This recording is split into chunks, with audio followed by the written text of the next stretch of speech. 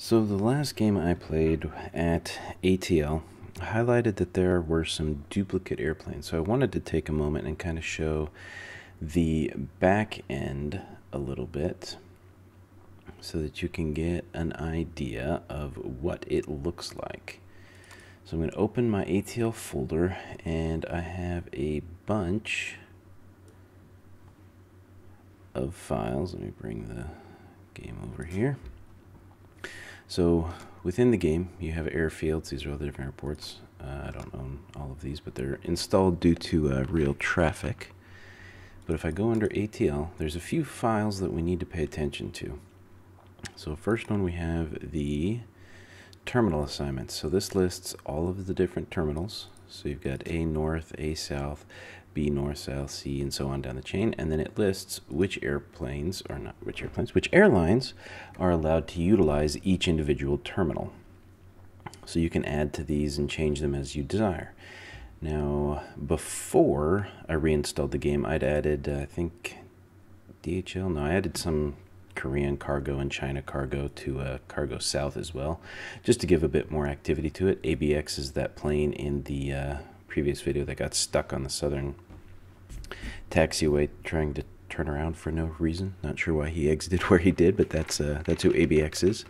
UPS and FedEx appear on the north ones, so I wanted to keep the uh, the North American companies on the north, and I figured ABX and the other more international and other different vendors would be on the southern side. But anyway, you can add airlines to this. If an airline does not have a terminal assignment, it won't be able to spawn in. Next, we have airplanes, and I think I need, yeah, I got word wrap on. So here, you can tell the game what type of airplanes are there, and I forget the assignments of all of these. I think uh, these over here on the right side tell it which livery to use, so which paint scheme and how to design the airplane. So these are all the different airplanes that exist in the game somewhere. Now, I've never seen an Antonov but it is an option within the game that you can have.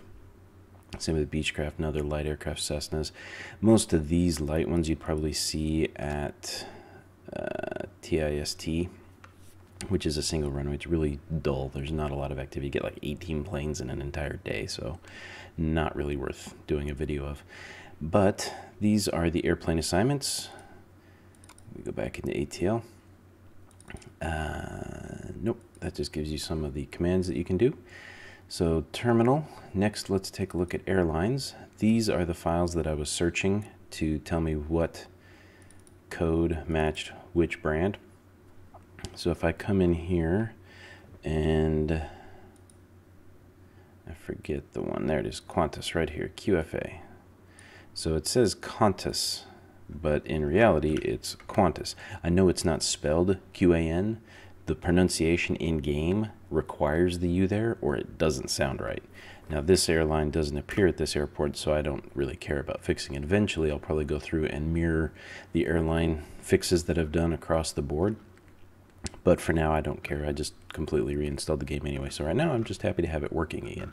So you can see here's all the different airlines. This is a lengthy, lengthy file and all of these can be assigned in game without any real issues. So, and these are, uh, I think these are used for terminal assignments or uh, something in the scheduling. So that's the airlines. No, don't save. And the most important one here is the schedule. So in the schedule, there's a lot of things that are listed here. First, you have the source airport where it's flying from. Then you have the destination airport, aircraft type, short name for the airliner, flight number, uh, arrivals. I want to say this is arrival time, and then this is departure time. I forget what the one means. I think that's just one airplane, and then again, it's repeating the uh, airline code. Now, all arrivals default with a departure time of 12. And if I scroll down to the departures, the arrival time is set to zero and the departure time exists. I believe I got that the right direction. I'll have to confirm here in a minute. And you can see these are all just comma separated values. Same with all of these files. So if I change the text file to a CSV, I can open it in Excel, sort by the column headers, and configure it however I see fit, which makes it a little easy.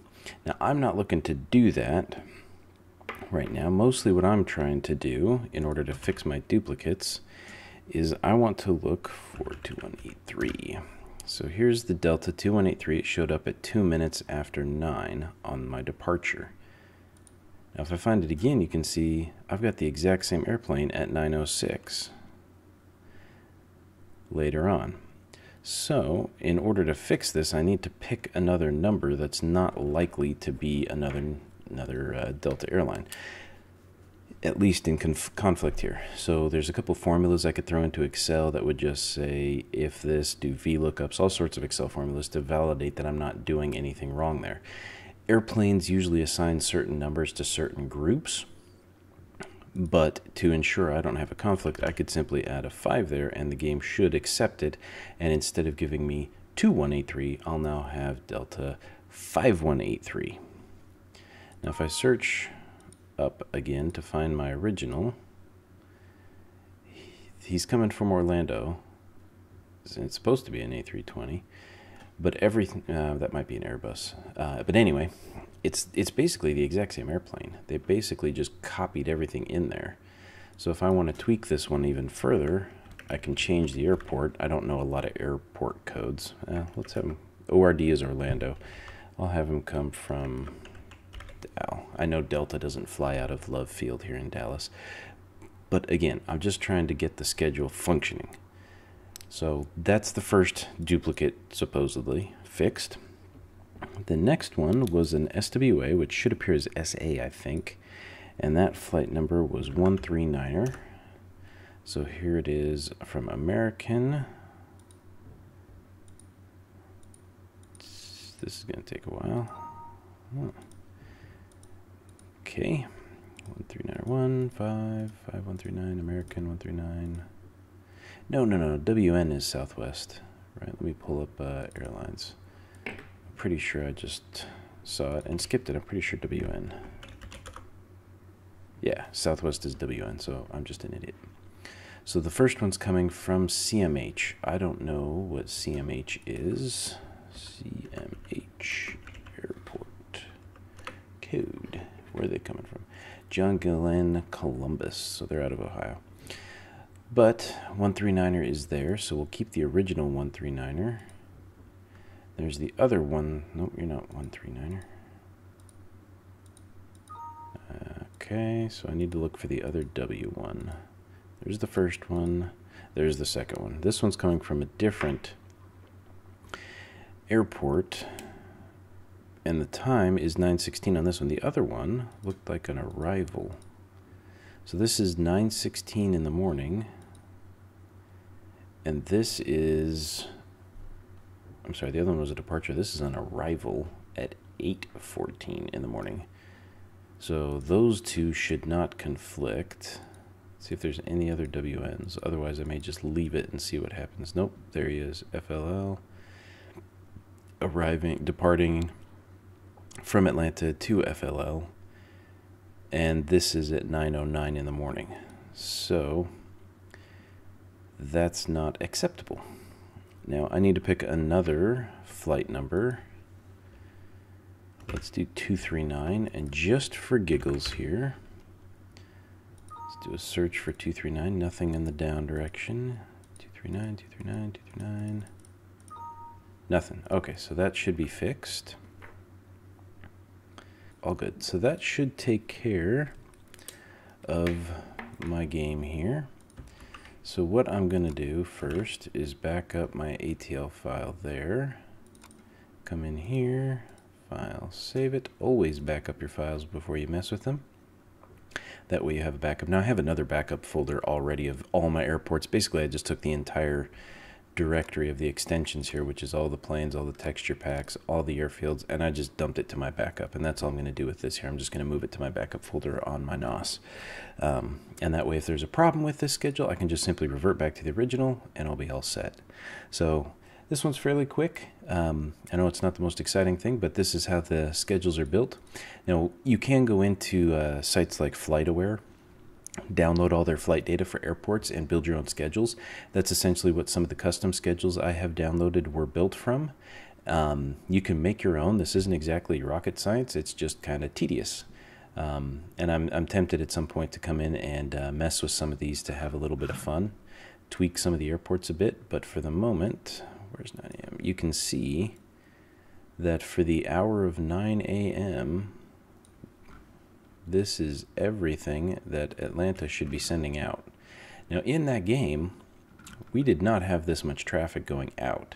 And that's what I'm talking about in the original videos with the uh, the game being bugged and, and some for some reason not enough actually happening. So we did see a lot of traffic, but I'm pretty sure we did not see all these different planes. Now maybe we did. I'll have to double check the counts, but this screen looks a lot busier than I actually felt like in game. I mean, I've got two planes showing up minimum almost every single minute and there's no way I was busy. I had maybe one plane every minute, every other minute, with a couple, two or three popping in fairly quickly. If we come up here to the departures, sorry, that was departures. If we come up here to the arrivals, 9 a.m. is here through here. So again, another massive amount of arrivals. And the only time it really gets busy is once I've cleared enough planes away from the airport that the inbounds can really start racking up.